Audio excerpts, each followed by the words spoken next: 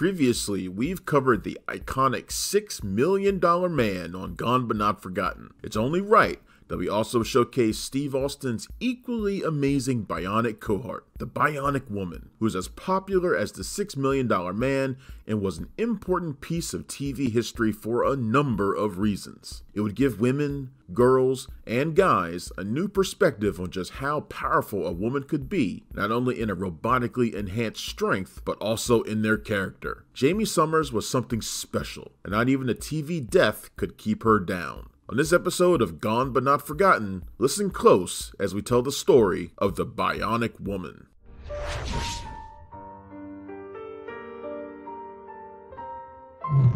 The Bionic Woman herself was introduced in season 2 of The Six Million Dollar Man, already an important part of Steve Austin's life. Jamie Sommers and Steve had a relationship from their younger years, and upon their meeting again in this episode, become romantically involved once more. On a date skydiving with Steve, Jamie's chute doesn't deploy, and she's horribly injured. Due to this, Steve goes to his crew, begging for Jamie to be fitted with bionics to keep her alive. But Jamie's condition isn't as stable as Steve's was. Due to her newly minted bionics malfunctioning, Jamie has a blood clot in her brain that gives her horrible headaches. Eventually, between her bionics malfunction and the hemorrhage, she loses control and collapses. Jamie dies on the operating table, and it devastates Steve. It's interesting here as the entire sequence of Steve chasing Jamie down happens during a thunderstorm. Makes me think of the Bride of Frankenstein quite a bit, which makes sense when you think of Jamie being put back together as she was. No one else in the world is like Steve and Jamie. The scene of Jamie in the operating room is pretty devastating for not only Steve, but for fans of the show, and everyone wanted her back. So, with a bit of TV magic, and cryogenics, Jamie Sommers was brought back to life in the next season of The Six Million Dollar Man. But it wasn't what would be called a happy reunion. Kenneth Johnson created Jamie and wrote the original two part episode, he would write her comeback for the now classic two part episode, The Return of the Bionic Woman. Steve and Jamie are completely star-crossed lovers. Sadly, Steve finds out the hard way that he's been lied to about Jamie still being alive. This is after he's been in another horrible accident, which causes damage to his legs where he's put in the same hospital as Jamie. It turns out that the scientists put Jamie into a cryogenic sleep until the blood clot in her brain could be removed. The issue is this causes Jamie to forget her accident and more importantly, her relationship with Steve. Eventually, Steve realizes that his involvement in Jamie's life is causing her to have horrible headaches and pain. Even though it destroys him emotionally, he decides the only thing he can do is give her up and have her removed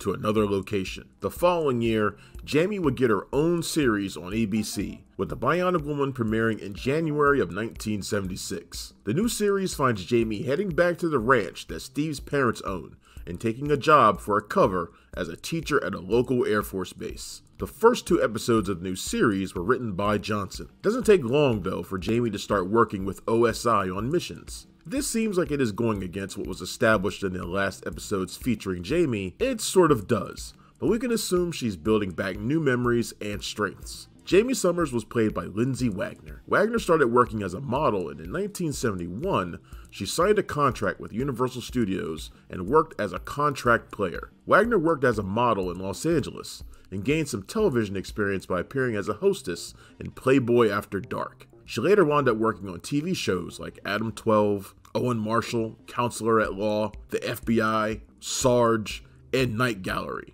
But it was her work on the Rockford Files that got her the role. Producer writer Kenneth Johnson had been looking for the lead for the series. He saw many actresses, but he was impressed by Wagner's performance on The Rockford Files. He said he felt she was charming and down to earth. He said the audience wanted a hero who could be the girl next door. So Wagner was hired, and that's when the magic began. The series would see Jamie running up against a number of interesting scenarios and pretty strange plotlines. This would include the fembots, aliens, her own double who was played by actress Lindsay Wagner, and takes on Steve's most famous foe, Bigfoot. Jamie would also, in the third and final season of the series, gain a new friend in the form of Maximilian, aka Max, one of OSI's first experiments in bionics, and who is a big ol' adorable German Shepherd. It becomes apparent that Jamie loves dogs, because when she finds out that Max is scheduled to be put down since they suspect him of rejecting his bionics,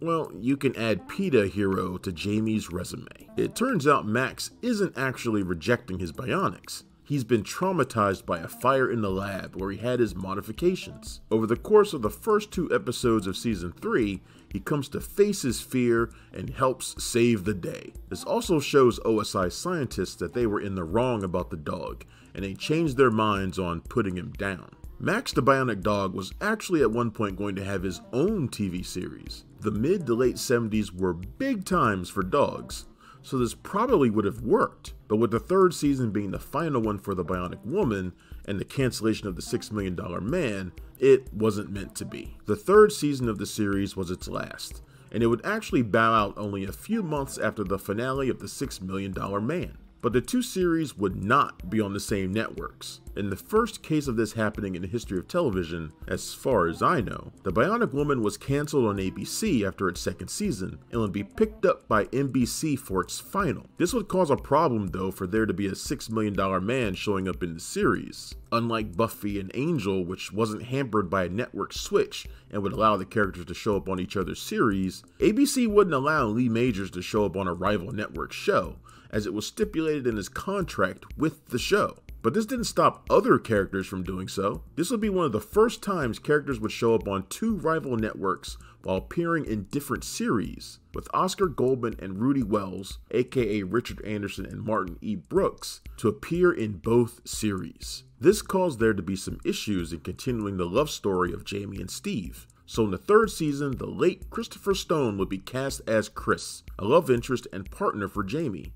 No, that's not Tom Atkins. This is the gent who turned into a werewolf in The Howling. Tom Atkins fought teenage alien slug zombies. Lindsay Wagner was awesome as Jamie Sommers, and she was a hero and role model to women and girls during this time. The 70s saw a lot of powerful female role models appear on television. This was the decade that saw live action Wonder Woman and Lynda Carter and Charlie's Angels. Jamie was a lot like these other women, in that she tried not to use brute strength too often when it came to issues she was solving. She was smart, she was kind, and she, like Steve, had to come to terms with who she was now with her bionics. In fact, the last episode of the series had Jamie wanting to leave the OSI in order to focus on herself and her own mental health and well being, something the agency wasn't willing to do. But Jamie eventually did get them to agree to her continuing to work with them on her terms. For Wagner herself, though, working on the series wasn't quite so easy. Lindsay Wagner had to do a lot of her own stunts, where Lee Majors actually had been a stuntman, something he'd sing about and portray on screen eventually in The Fall Guy. Wagner wasn't, but she went ahead and did them anyway, even when it came to a dangerous helicopter stunt that wasn't quite to the level of security it should have been, without a security harness in place and falling to an airbag. The character of Jamie, as I said, was important for young women. The team behind the show wanted anything that was tied in the ways of toys and merchandise to also show Jamie as more than just a pretty face. Like the $6 million man toys, the Bionic Woman toys had neat tie ins to the character's powers. For example, if you turn Jamie's head, you could hear the sound effect of her super hearing. Her arm had an area where you could see the circuitry in it. But Jamie, unlike Steve, also could be bought with a mission purse. And yes, actually it came with makeup and a wallet with bionic bucks. Also, for some reason, instead of a picture of Steve in her wallet, she had a picture of Oscar. Mission purse aside, the Bionic Woman toys were pretty neat. Jamie had a sports car and even a house you could get but also a bionic beauty salon.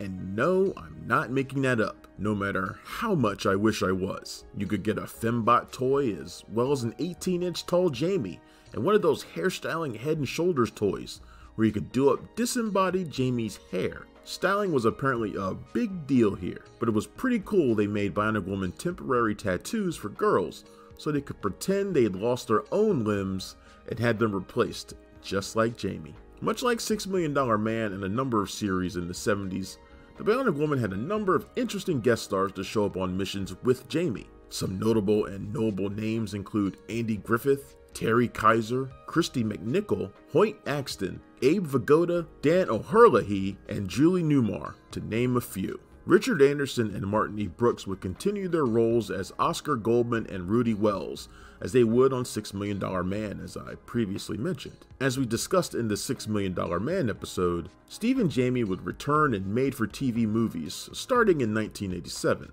In the second of these, 1989's Bionic Showdown, the Six Million Dollar Man and the Bionic Woman, a new Bionic Woman would be created in the form of Sandra Bullock. At one point, there was talk of giving her character Kate Mason a series, but this didn't happen. Steve and Jamie would actually tie the knot in Bionic Ever After. This would be the last time the characters would be seen as played by the original actors. Notice I said the original actors. The Bionic Woman has the distinction of having been rebooted and remade into a new series, unlike the $6 Million Man. Back in 2007, for eight whole episodes spread over about a month of time, NBC aired The Bionic Woman. The series starred Michelle Ryan as Jamie Sommers, who is now a bartender and whose boyfriend is the scientist who fits her out with cybernetics after an accident nearly kills her, possibly a nod to the fact that Lindsay Wagner's younger sister motivated her to take the role of the original Bionic Woman. In this series, Jamie has a younger sister she takes care of.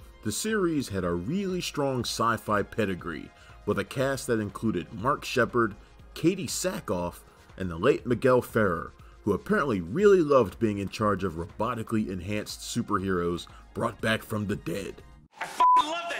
The series was produced in Canada, but didn't get much in the way of interest from viewers. The last nail in the coffin of the series was the writer's strike the same year it was aired. No further episodes were produced after the strike, and NBC pulled the plug on the series. Kenneth Johnson, the actual writer and creator of the original series, had nothing to do with it either, which probably didn't help matters. If you watch the show, you can see its wasted potential. Michelle Ryan is a great lead and Katee Sackhoff is an incredible villain, but the supporting cast was weak. Jamie's sister is an annoying teenager, always whining, and the supporting characters are as dull as wet paint. Sadly, we will never know if the series could have been saved. Currently, the only way to stream The Bionic Woman is to buy it on Amazon. However, if you're interested on great special features, you should buy the DVDs, which are still in print.